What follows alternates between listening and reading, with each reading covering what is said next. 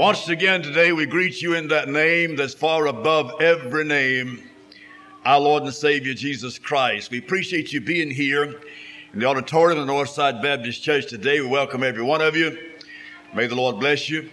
And you that's listening out in the radio listening audience, we appreciate you tuning in to get this hour coming up. We hope we can be an inspiration to everyone. And we want you to pray for us as this hour moves by that God will use the singing as well as the preaching of His Word.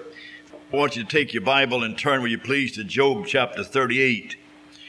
It's page 594 in the original Scofield Reference Bible. After you turn there, turn to Colossians chapter 3, which is page 1265.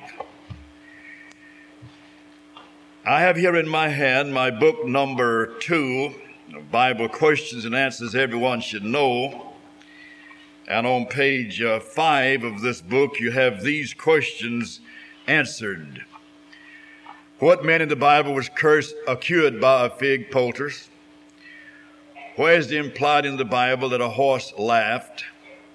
Does it say in the Bible that Christ was crucified on a dogwood tree? What woman in the Bible, the more she spent on doctor bills, the worse she became? What is the meaning of the scripture where it says, If a man behaveth himself uncommonly toward his virgin, if she pass the flower of her age, and need so require, let him do what he will, he sinneth not, let them marry. And then where is the scripture that describes what Jesus looked like? Where does it say ten women will bake bread in one oven? What two men did God kill for offering strange fire before him? Where is the scripture that tells a woman how to win her husband to Christ? What man said to another, You will be eyes to me, you will be to me as eyes? Then where does the Bible say that the wind blew quail from the sea? What people in the Bible accuse themselves looking like grasshoppers? Is there a woman in the Bible by the name of Noah? Do you have scripture in the Bible for laying on of hands on people for ordaining them for leadership or special services? These questions you find answered on page five of book number two. Now, if you'd like to have this book, just write in and enclose a gift of $2 or more and request the book. We'll get it right in the mail to you. We have five of these books. If you'd like to have all five, each one has 150 Bible questions and answers. If you'd like to have all five of these books, then uh, you might send in a gift of $10 or more, and we'll send you the book. I want you to pray for me and write to me. I always stand in need of those that love God to work with me in getting out the gospel. So I'd like to hear from you this week. This is a faith ministry, and you can have a part in this ministry. My mailing address is Virgil Edwards, P.O. Box 501, Athens, Georgia. 30603 is the zip code number. If you'd like to have a list of our cassette tape, we'd gladly send you a list. We have more than 350 listed, and you can choose a tape of your choice. You write in for them by number or by title. They're, gift, they're $3 each. The gift is used to help take care of our, our radio expense. In the book of Job, chapter 38, beginning with verse 1. And the Lord answered Job of the whirlwind and said, Who is this at darkness counsel by words without knowledge? Gird up now thy loins like a man, for I will demand of thee and answer thou me. Where wast thou when I laid the foundations of the earth? Declare it if thou hast understanding. Who hath laid the measures thereof? If thou knowest who has stretched the line upon it. Whereupon are the foundations thereof fastened, or who laid the cornerstone thereof? When the morning stars sing together and all the sons of God shouted for joy, or who shut up the sea with doors when it brake forth as if it had issued out of the womb? When I made the clouds and garments thereof in thick darkness, a swallow it and break up for it my decree place and set bars there too. Now that's as far as I'm reading in this chapter, but I want to call your attention to verse 7 when the morning stars sing together. And all the sons of God shouted for joy. Keep that text in mind. Now, over in the book of Colossians, chapter 3, verse 16, you find these words Let the word of Christ dwell in you richly in all wisdom, teaching and admonishing one another in psalms and hymns and spiritual songs, singing with grace in your heart to the Lord. The Bible tells you there that God requires singing, singing by grace, singing spiritual songs, singing unto the Lord. I'm going to speak to you today on this subject singing in the Bible. Singing in the Bible. You may have never heard a sermon just on the matter of singing in the Bible. And if you follow me closely, then we'll help you from that viewpoint. Did you know for the first 2,500 years after Adam fell in the garden, there was no singing mentioned in the Bible? For 2,500 long years, no singing mentioned in the Word of God. Now you have in the Bible a music director mentioned in the Bible. Now, we do know good singing plays a great part in the work of the Lord. And down through the years since God established His church upon the earth, great singing has played a great part in the ministry of the Lord. And in years gone by, great men of God, great evangelists, great pastors and teachers have often had good singers and music directors to help them in the work of God. You know, Dwight L. Moody had Sankey that did a wonderful job. Billy Sunday had Rodeheaver and others had great men that played a major part in the work of God in the singing ministry. Now, singing is a ministry, and some people have the ability to direct or lead or sing and to be used to the glory of God. You have a choir master mentioned in the Bible. And First Chronicles chapter 15, verses 22 and 27. And his name is Chenaniah. The Bible said he was a chief of the Levites, and he was for song. He instructed about the song because he was skillful. And David was clothed with a robe of fine linen, and all the Levites that bear the ark and the singers and Chenaniah, the master of the song with the singers. You have that in First Chronicles chapter 15, verses 22 and 27. And so you have there the choir minister or the music director that's mentioned in the Word of God. This man was gifted to do this, and, and that was his job to do it. Now, I want to mention several places in the Bible where singing is associated with the work of God. Number one, it was associated with redemption.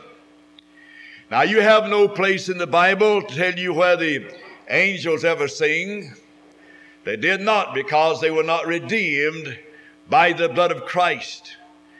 In my text in the book of Job, they said there was singing among the stars. And the sons of God shouted with great joy. Now, the astrologers and, of course, the um, astronomers and so forth, and scientists and great men of God that studied the heavens and have listened tell you the closer you get up into the heavens among the stars, the more you can detect music among the stars. There's millions of them up there, and they create music up there among the stars. Now, we may never realize that until we pass through there on the way to heaven, but that's been discovered, and the Bible makes mention of the uh, singing among the stars. And I just uh, surmise when you get into the third heaven, you pass the planetary system, then you're really going to hear some music and singing on the other side. Now, you don't find any singing in the Bible until after the redemption of the Israelites whenever they crossed over the Red Sea. The Bible says in Exodus chapter 15 verse 1, Then sang Moses and the children of Israel this, this song unto the Lord, and spake, saying, I will sing unto the Lord, for he hath triumphed gloriously. The horse and the rider hath he thrown into the sea. So the Bible tells us here that there were great singing among the Israelites after they were redeemed from the land of Egypt, crossing over the Red Sea, which is a type of blood and redemption.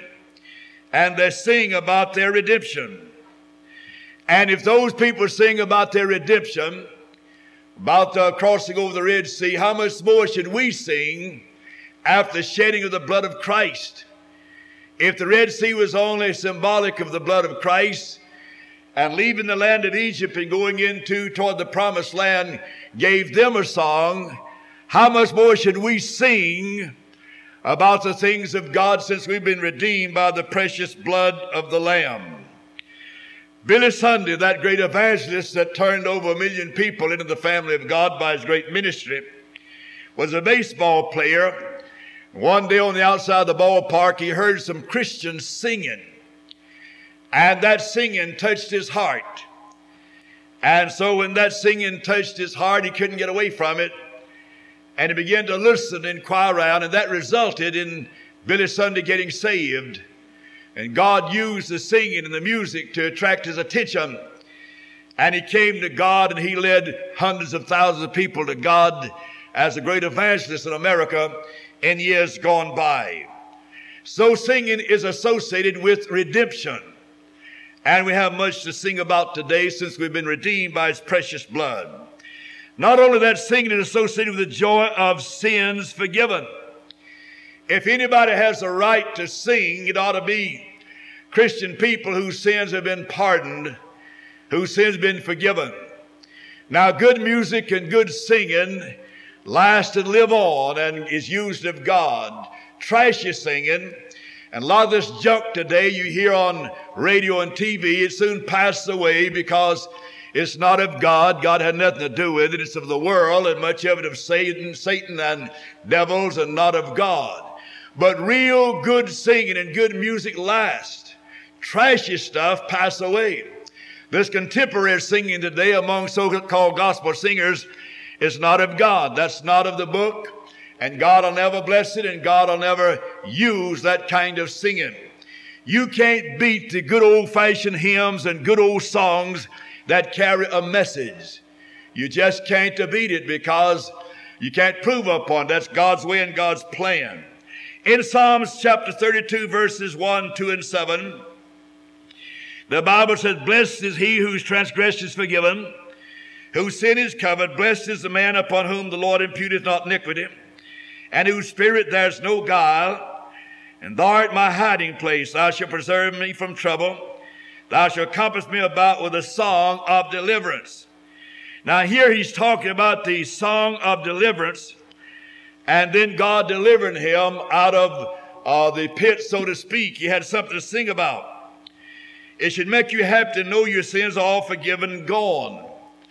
Now, whenever you sing, then surely you're thinking about what Jesus did for you. Sins are gone. I reminded the dear black man back in the days of slavery. He became a Christian. He loved God. And he'd read his Bible and he'd pray and then he would sing. His master got tired of it and said, I'm going to stop him. I'm not going to listen to that. And I'll just uh, take away the Bible from him and his songbook and, and that'll uh, take care of him. So the slave owner, the master, took the, his Bible and his songbook and he went out one day into the corn crib to shuck the shucks off for corn. And while he was in the corn crib, he found an old geography book.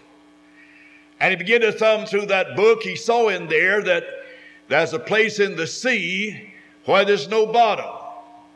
He studied about that a moment and then he started singing and praising God, rejoicing. His master heard him and went out to see what was going on because he knew he had taken away his Bible and his songbook. And he said to him, What are you doing? You don't have your Bible, you don't have your songbook. I meant for you to shut up your singing and praising God. He said, Master, sir, I know, I know, but said, I read here in this geography book where there's a place in the sea there's no bottom. And said, Praise God, the Bible says my sins are in the bottom of the sea and there's no bottom there. And I know they're gone forever. And he started shouting again. So you can't beat that. We have much to be shouting about in these days as we serve God and singing about and praising God about. Number three, singing is associated with consecration. Now, when Solomon consecrated the temple, they did some singing. In 2 Chronicles chapter 5, verse 13, it came to pass, as the trumpeters and singers were as one, to make one sound to be heard in praise and thanking the Lord. And when they lift up their voice with the trumpet and cymbal and, instruments of music, and praise the Lord, saying, For he is good, for his mercy endures forever, that then the house was filled with cloud, even the house of the Lord. Now the Bible tells you here when they were in harmony, when they were together, when they began to praise God, when they began to sing, then God's presence was there and they felt the presence of God. And 2 Corinthians chapter 30 verse 21, the children of Israel that were present at Jerusalem kept the feast of unleavened bread seven days with great gladness. And the Levites and the priests praised the Lord day by day, singing with loud instruments unto the Lord. So here they use instruments, loud instruments, and played those instruments and sing loudly unto God because they had great union and rejoicing then, praising God in unity among the people. And this came because of consecration. They had consecrated themselves to the Lord, and God's presence came. And they rejoiced and praised God about that. Then again, it's associated with union with Christ. In the uh, Songs of Solomon, chapter 1, verses 1 and 2, it says, The Song of, of Songs, which is Solomon's, let him kiss me with the kisses of his mouth, for thy love is better than wine. And that pictures us loving Jesus. We're one with him and we're his bride. And here we see uh, in the Song of Solomon, uh, Solomon's songs, there he wrote many songs and there's connected with union with Christ. And when you realize that you're united with him, that you're in his body, you're part of him, and you're the bride and he's the bridegroom, that ought to give you something to sing about.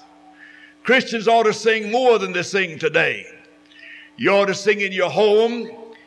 You should sing on your job. You should sing uh, as you're about the house or on the way to church, on the way home. You ought to sing and not listen to much of this trash and junk today that's called music, which is out of the pit. You know, those old uh, beetle bugs that came over here from England years ago and brought demonism with them when they came and stirred up our young people. And out of that came these hippies and long haired, filthy people. You still see them today. They think they got to have their hair hanging down their back and look filthy in order to try to sing and make what they call music, which is not music, just make a lot of noise. And this, of course, tends toward uh, taking dope and things of that type. And our young people in America has never been the same since those Beatles came over here from England. And certain groups in America begin to spring up, and it's wrecked our youth today. This hard rock stuff today they call music beating and banging and jumping around and looking like uh, a bunch of heathen and dressed like a bunch of heathen. You think God's got anything to do with that? No, that's uh, demonism. And it's really hurt our young people today. And that's why you have so many young people on dope today. And out here in the world, they look at that stuff. And children today spend four hours a day on the average looking at TV.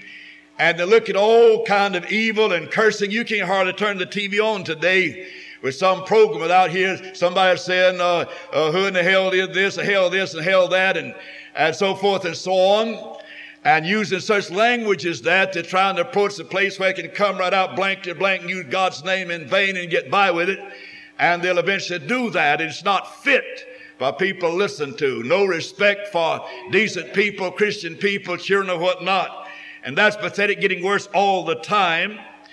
And you ought to praise God and sing good songs and sing uh, good Christian songs and and you Christians especially ought to sing Christian songs in your home. My mother left a great impression upon me when, as just a little boy, when she'd be cleaning up the house, she'd start singing songs about the promised land. a land is fairer than day, and things of that time, old fashioned songs, and they stuck with me, and I appreciate them. We move on further in associating with great persecution. In Acts chapter 16, verse 25, at midnight, Paul and Silas prayed and sang praise unto God, and the prisoners heard them. In Job chapter 35, verse 10, but none saith, Where is thy God who maketh, who giveth a song, a songs in the night? Now, the more you're persecuted, the more your friends turn against you, the tougher your luck may seem, the biggest problems you may have, should cause you to sing more than ever before. Try to sing through your problems and your trouble and your heartaches and your disappointments, and you'll find they will let up. Now, if you walk around feeling sorry for yourself and your head hanging down and you feel like everything's happened to you and it's wrong and and people looking down on you and you have no friends and everything is going wrong, as long as you act like that, look like that's going to get worse for you. But if you lift your head and begin to sing and begin to praise God and rejoice, then things will get better for you. We find that happened to Paul and Silas. They went a dirty, stinking jail. Their foot feet in the stocks and their hands bound up, and and there they were waiting. What uh, some thought was going to put them to death. And at midnight, the Bible said they began to sing and praise God. And they sang and they praised the Lord there at midnight. And great joy and great thrill and power came when they began to praise God. You know, every singer, every special singer, every music director should get every bit of this message I'm bringing today because it's biblical. It should be encouraging and, and should help the people and help singers and quartets and musicians and music directions, uh, directors.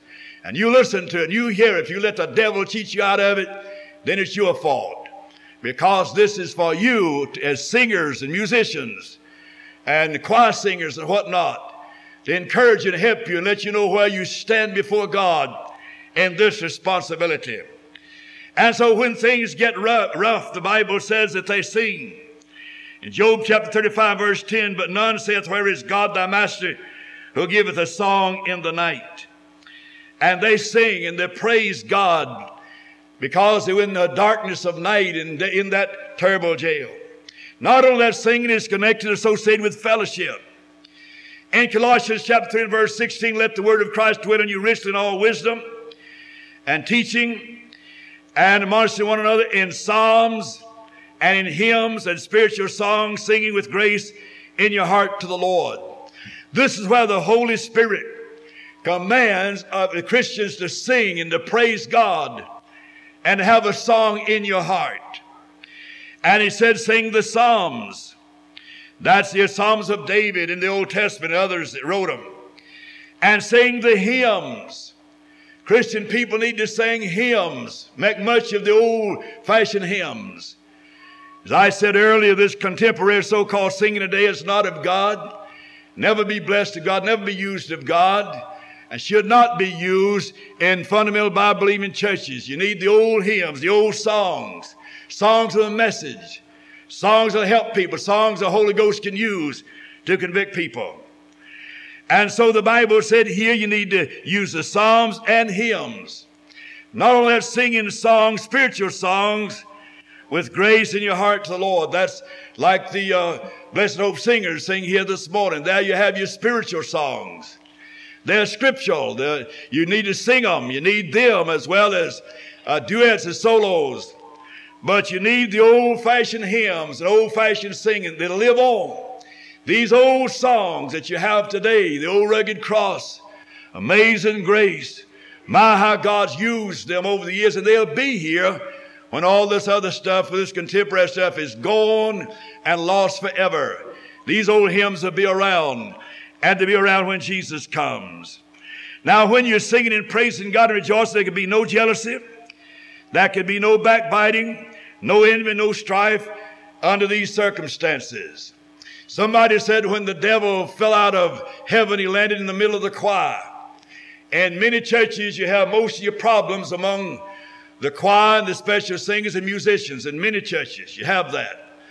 And the devil seems to get into the air in order to, to cause disturbance among the people. But if the choir is singing in the Spirit and praising God and singing with grace in their hearts, the special singers, musicians, directors, to have the praise of God in their heart and rejoicing and great love, the devil doesn't have a chance to get in and cause jealousy and ill will and fault finding. But among the singers, there's much jealousy. Among preachers, there's much jealousy. And it should not be. And we shouldn't find fault with God's men and God's singers and God's uh, choirs and men and women that's used of God. Need to pray one for another and have grace in our hearts and sing with grace in our hearts to the Lord.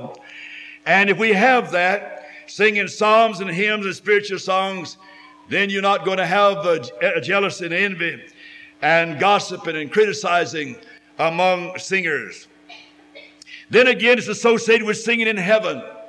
Singing associated with singing in heaven. As I said in the beginning of my message, for the first 25 years, you have no singing mentioned. For the first 2,500 years, 2,500 years from Adam until Moses crossed the Red Sea, you have no singing. You have music, instruments mentioned, but no singing. But after redemption, after the Red Sea, then they began to sing. And from that time until now, you have a song. It's connected, associated with singing in heaven. In Revelation chapter 5 and verse 9, they sing a new song saying, Thou art worthy to take the book and open the seal thereof. Thou wast slain and hast redeemed us to God by thy blood out of every kindred and tongue, people, and nation. So they're singing the song of redemption yonder in heaven. And we can join in down here since we're redeemed and part of our, our singers over there. And they can sing the songs of redemption there, and we can down here. And so singing is associated with singing in heaven. I've heard of men uh, dying on their deathbed said they heard singing. They didn't hear it from the angels. It had to come from the deemed of God because angels don't sing. You don't find where angels sing in the Bible. They have not been redeemed. Only redeemed people sing. Now, you in the radio listeners, audience, if you'd like to have this message and this uh, the singing today is on tape number six, number 362. Tape number 362, speaking on the subject, singing in the Bible. Write in and get this tape. It'll help you. Be a blessing to you. Some of you having problems out there among your singers and your choir. Uh, you need to get this tape. Uh, it'll help you. The message will help you very much. You need to get it. It's a biblical message. Every singer ought to get this message possibly can and listen to it. And uh, you need to hear it because it can be helpful. Now, you can very easily lose your song. There's a lot of church members today that's lost their song. They used to sing in the choir. They used to sing special numbers, but they lost that song. Now, I reckon why they lost that song. They lost that song because that's exactly what the devil wanted them to do. And they played in the hands of the devil and they don't sing anymore. They don't take a part in the choir anymore. They have lost their songs, have listened to the devil, they've been tripped, tricked by the world, and they're being robbed. And they'll most certainly have be the loser when they come to the judgment seat of Christ. Every choir member ought to be in the choir singing the songs of God and praising God and trying to be a blessing you're going to die one of these days. The only thing that's done for God on this earth is what you're doing now. And when you face God the judgment, you're going to be the loser if you have the opportunity to do things for God and you don't do it. Every singer, every choir member ought to be prayed up and filled up, find their place in the choir and sing the glory of God. You don't need somebody to have to drag you in to sing, or beg you to come and sing, or threaten you to sing. You don't need that. You're backslid on God. You're not right with God if it takes that to get you to sing. I don't care who you are. Just like a preacher that won't preach, he's backslid on God. If somebody has to beg him to preach, entice him to preach, he's backslid on God. He's dead wrong. I don't care who he is. You need to do what God would have you to do. You may say, preacher, I can't very well sing. Well, we, you have a, a, a music director. They'll teach you in the choir how to sing. All you got to do is come to the choir, and that's his job to teach you to sing. You can sing if you can carry a tune in a bucket. If you can't carry it in your heart, bring it on in a bucket and sing it anyway. and uh, do something for God. Find your place in the house of God where you can serve God and do something for the Lord. But you can very easily lose that song. In Psalms 137, verse 1 through 4, by the rivers of Babylon, there we sat down, yea, we wept when we remembered Zion. We hung our harps upon the willows in the midst thereof. For there they that carried us away captive required of us a song. And they that waste us required us of mirth, saying, Sing us one of the songs of Zion. How shall we sing the Lord's song in a strange land? They said. Psalms 137, verse 1 through 4. The Israelites, when Nebuchadnezzar carried them into Babylon, they lost their songs and they just took their harps and hung them on the willow trees. And when those heathen came around and said, Won't you sing us a song? They knew the songs of Zion were beautiful. They said, Won't you sing? They said, How can we? We over here in this strange land, we're not where our temple is. And, and how can we sing a song? They lost their song. And there's some of you people listening to me right now. You know you're saved. You used to sing in the choir, you sing special numbers. Maybe play us of the glory of God, and you don't do that no more. You've lost your song. You have lost it. Now, why did you lose it? You can't blame it on God. You can't blame it on anyone else. You blame it on yourself. You don't, you didn't have to lose your song. You lost your song because you listened to the devil and the world and you wanted to lose your song. You're going to be the loser when you come to the judgment seat of Christ, as certain as I'm speaking to you. Old Sankey was a great singer with Dwight L. Moody. One day he was uh, on the uh, battlefield, and there Sankey was uh, there in his blue uniform. He was a northerner, and he was keeping guard that night. And then while he was keeping guard, a southern soldier saw him and got a bead on him through his gun to shoot him. And about that time, Sankey started singing a beautiful hymn. Softly and sweetly sang that hymn.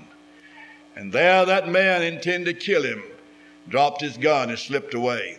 Later on, they were taking a boat ride in a southern a city down a southern river, and Sankey was on that boat, and he didn't know that man had done that, and he got up and sang, and he sang the same song on that ship that he sang that night on the battlefield. And this man was there that intended to shoot him, and came up and told him what he intended to do, but said, When you sang that song, I couldn't shoot you, sir. And that was the same song you sang here on this boat. And they hugged each other. And he said, I appreciate it. By his singing, he lived on. He was singing out in California near the Golden Gate. There's a man there about ready to jump off and commit suicide. And he heard Sankey singing and stepped off of that bridge. He went on and became a decent citizen. Great singing does great things in the work of God. And if you have the ability to do it, it's a great and major ministry and ought to be done and needs to be done. You have a lot of song leaders that backslide and start preaching. And when they're song leaders from God Almighty and God calls them to sing, give them that ability, and they start trying to preach, they backslide on God. They can't do half as much through their preaching as they could done through helping some preacher and ministering in music and reaching sinners for God and being a blessing. And there's a lot of men trying to preach today that backslid on God from what God called them to do when He called them to be a singer. And that singing is just as important in a sense as that preacher's ministry. And a man needs to realize that if he can do that, and God knows how many preachers backslid and start trying to preach when they do a far better job by singing.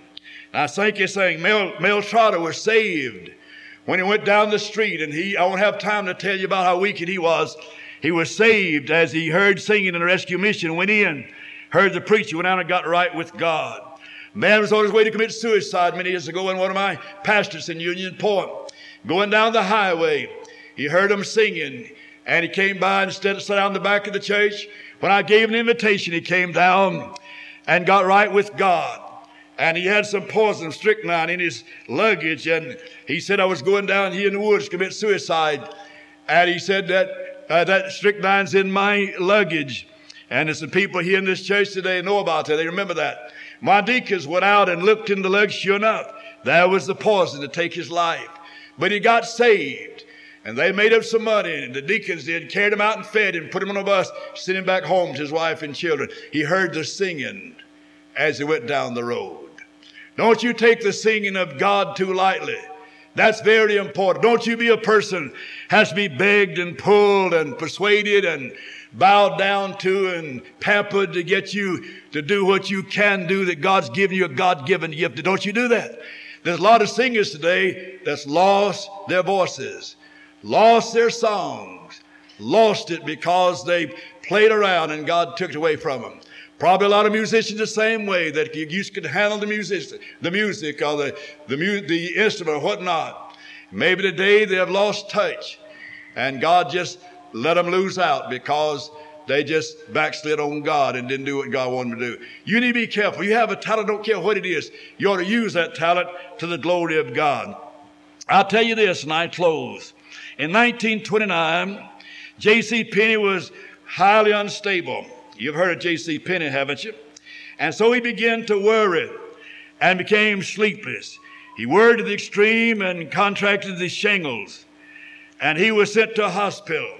One night he thought he would die and began to write farewell notes to his wife, his son, and his children, his friends. The next morning, while lying on his bed, he heard singing coming from the hospital chapel next door. They were singing, No matter